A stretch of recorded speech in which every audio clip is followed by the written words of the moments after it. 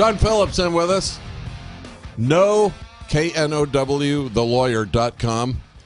And John is getting a lot of calls up here, people needing some legal help. See anything up there that's uh, out of the ordinary? Something that's uh, kind of fun to deal with? Yeah, let's, let's hit that. Let's hit that uh, right to work issue, just because Yeah, we need we were that. talking about it. Um, Patrick, what's up?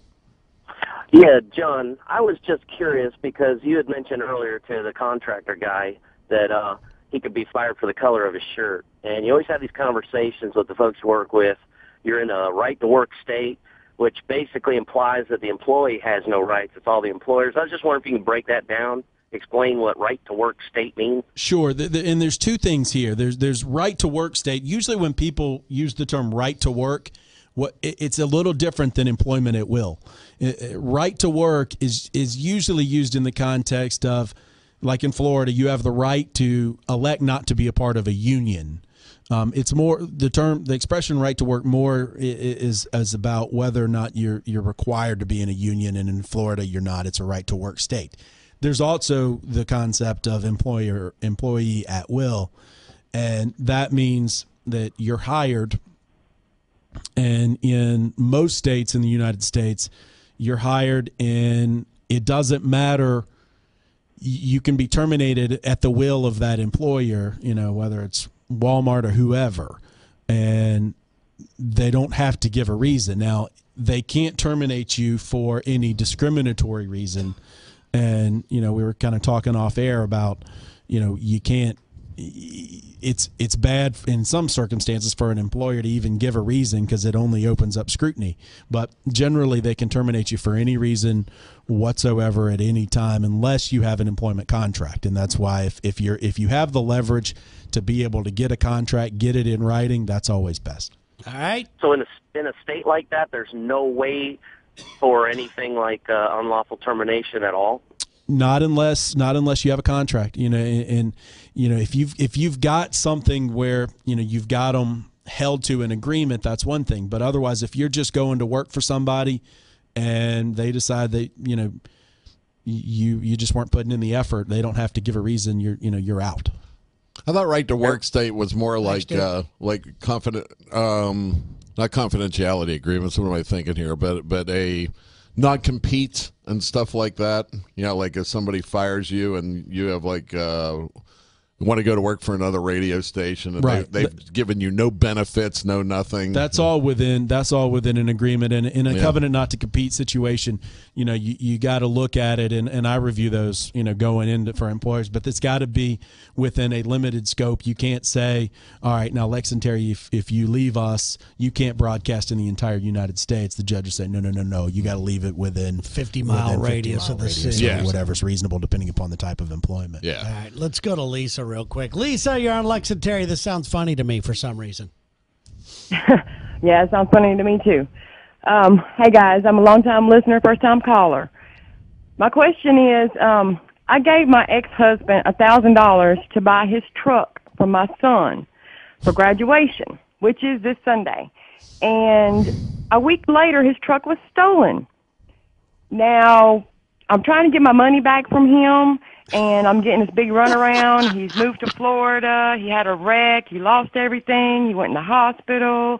I have the duplicate check, and I was wondering if I have grounds to sue him. Wait, who stole it? Who stole the truck?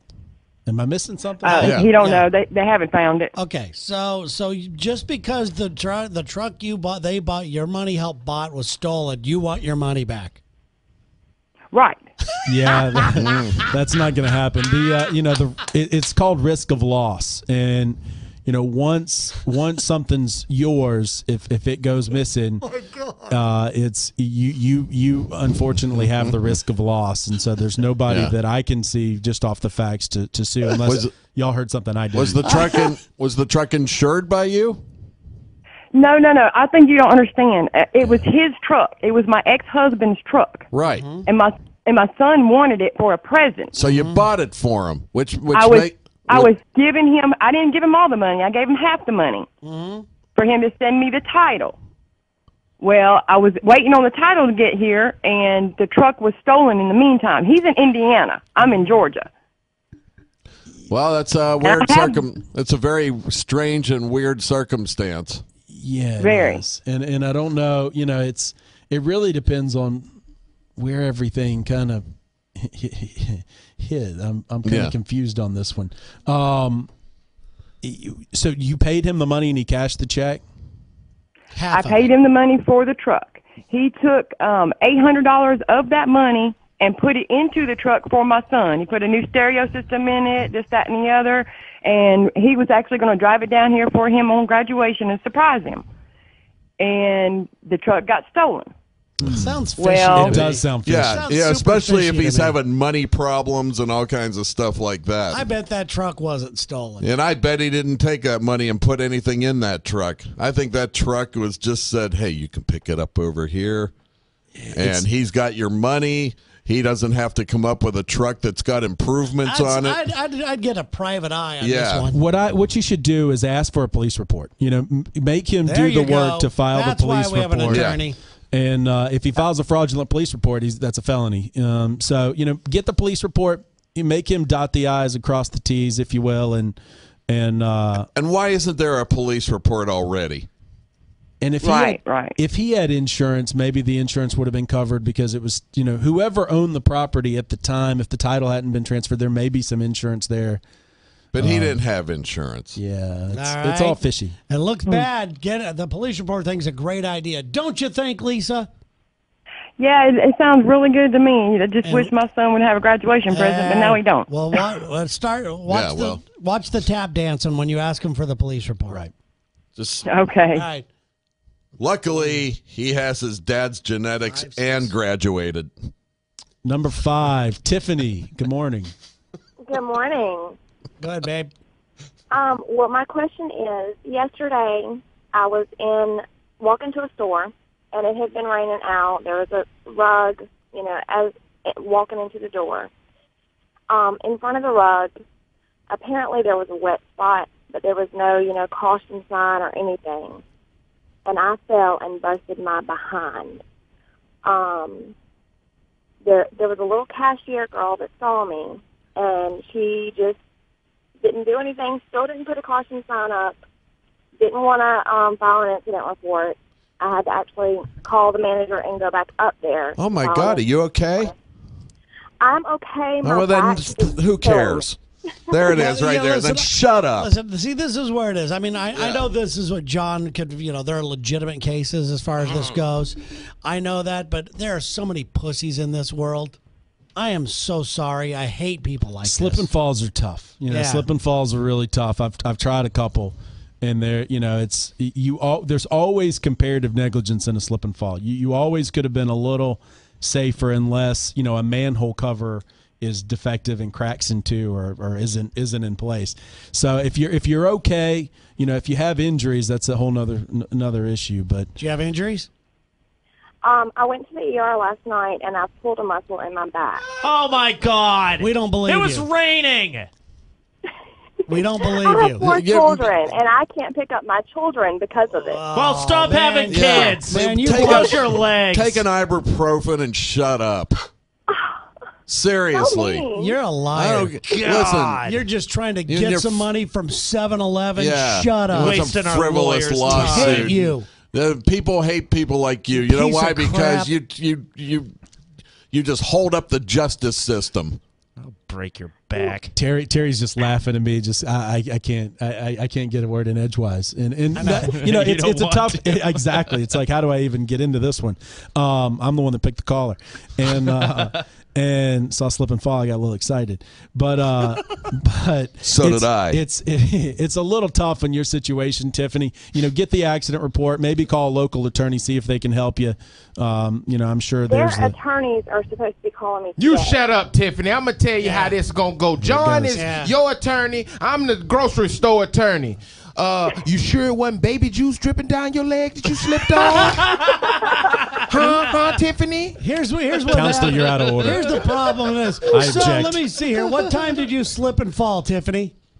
Uh, yesterday at about 2 p.m. And then you went to the emergency room last night. what kind of shoes were you wearing? If you say heels, Uh, we're in trouble. No, I don't wear heels. Okay. Uh, I don't like even more. to chase after Have you ever uh, have you ever had any former uh, anything legal before you've been involved in? No, I have not. Have you did it with any of your children? Did you get an epidural, the shot in the back? Yes.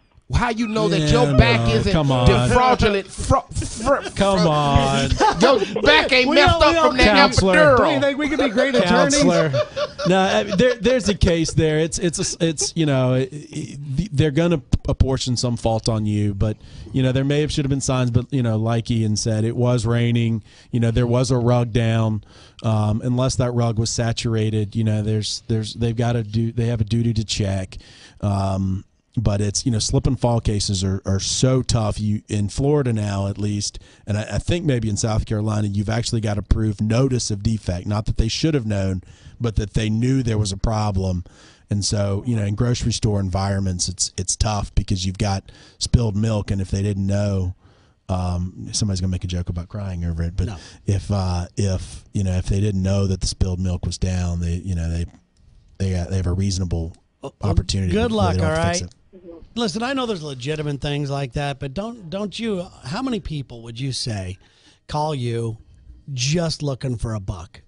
When I was at my former firm, which was one of those big mill type Uh-huh. advertising firms, we got those all the time. I turn those cases down. You Yeah. know, I take serious injuries. You know, I get a lot of auto cases more than slip and falls because slip and falls, man, uh, there's almost always an element of of you should have done a little bit more to prevent Mm-hmm. Yeah. this fall. And I, I've I've had a, the last one of the last trials I had at that former firm was a slip and fall at a major hospital and and a jury just lit us up on Yeah. you know self responsibility. So Yeah, I mean it's a tough thing, and there are people that legitimately accidents happen to them due to neglect of uh, the other party. We get it, uh, but if you just like you know you go to McDonald's and your French fries too hot and you eh, you're a bitch. Yeah, that hot coffee case just pissed me off. no, it's like no, let's let's have you seen the documentary on it? no. No, I don't need to see it. You're ordering hot coffee, and there it is. Well, it spilled all over. They spilled it, on top of her. Well, sh- she no, they didn't. She spilled. She put it in her own lap. Okay. But if you see the, I'll show you before we I'm sorry, leave. she did what? the she she spilt it. Hmm. But McDonald's had They to, didn't throw it on her? They used such cheap beans that they had to boil them at I think 200 degrees, which is 20 degrees over standard. They kept it at 190 degrees, so it was hotter because McDonald's used cheap beans. And she literally incinerated inches off of her leg, like her skin was melted off to the like point a they had to do major skin grafts. And uh, it's it's pretty disgusting stuff. You know, th- those lawsuits are about accountability. And McDonald's since you know lowered the temperature that they keep their coffee at. Yeah. All You right. know, and they had like 700 complaints beforehand. So, Oh. you know, every one of them, so they knew that there was probably a problem. they knew there was a problem.